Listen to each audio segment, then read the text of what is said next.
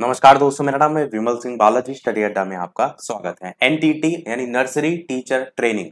तो nursery teacher vacancy से संबंधित उत्तर प्रदेश के लखनऊ से आपका एक वैकेंसी निकल करके आई है और एयरफोर्स जो स्कूल है आपका, वहाँ से वैकेंसी निकल करके आई है। उसी की बात इस वीडियो में करेंगे।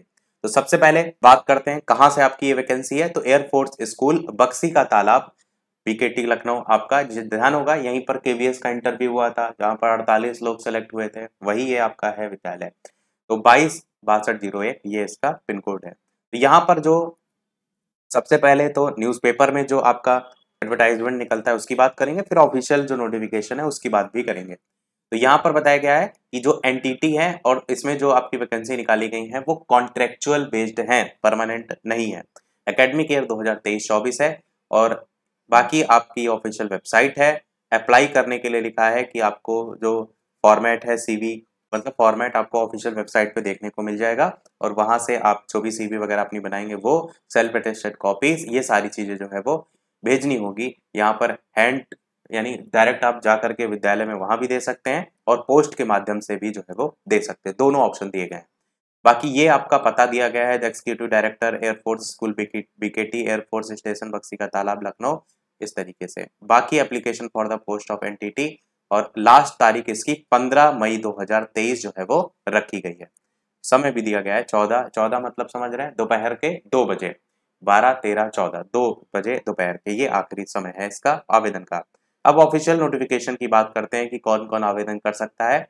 तो ये आपका ऑफिशियल नोटिफिकेशन है, जो आप ऑफिशियल वेबसाइट से डाउनलोड कर सकते हैं। अभी हम आपको ऑफिशियल वेबसाइट भी दिखा देंगे।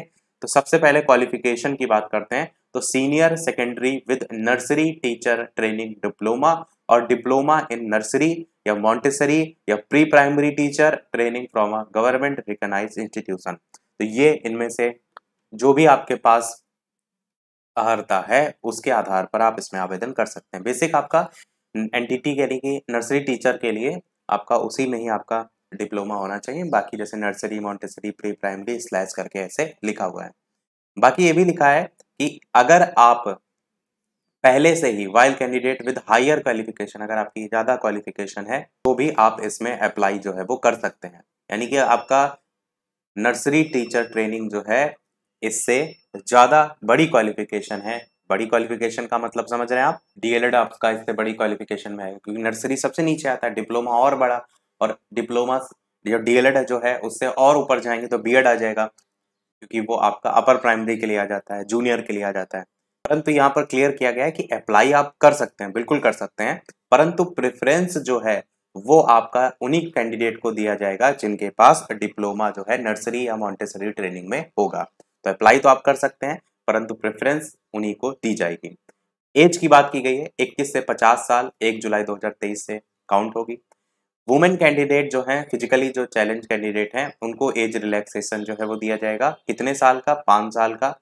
और साथ ही साथ जो कैंडिडेट दो साल मिनिमम ऑलरेडी कॉन्टिन्यूस सर्विस दे चुके हैं एज अ पीजीटी या टीजीटी या PRT in any air force school और इस समय वर्तमान में वो नहीं कर रहे हैं मतलब पहले कर चुके हैं, परंतु वर्तमान में नहीं कर रहे हैं, उनको भी एज रिलैक्सेशन जो है वो दिया जाएगा, वो भी यहाँ बताया गया है एयरफोर्स स्कूल में अगर आप कर चुके हैं। बाकी आपके अंदर लिखने, पढ़ने और कम्युनिकेट की स्किल होनी चाहिए इंग्लिश में। इंग्लिश तो नॉर्मल सभी में मांगा जाता है।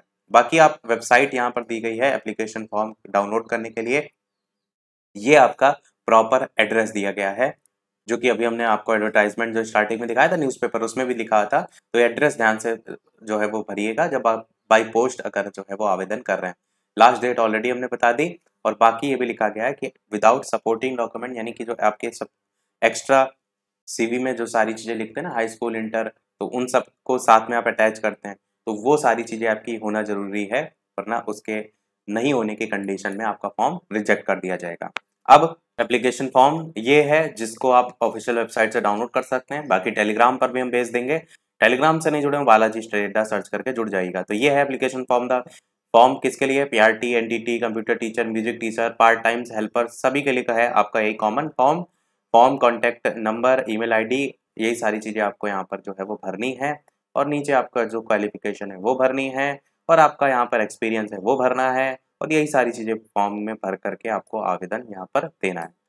और बात करते हैं ऑफिशियल वेबसाइट की तो ये ऑफिशियल वेबसाइट है जिसमें अगर आप थोड़ा सा ध्यान देंगे साइड में अनाउंसमेंट सेक्शन आपको मिल जाएगा और अनाउंसमेंट सेक्शन जो आप देख रहे हैं, इसी में ही आपको जो वैकेंसी देखने को मिल रही है एनटीटी वाली, वो यहाँ पर देखने को मिल जाएगी, जिसमें आप तारीख भी 15 मई 2023 देख पाएँगे।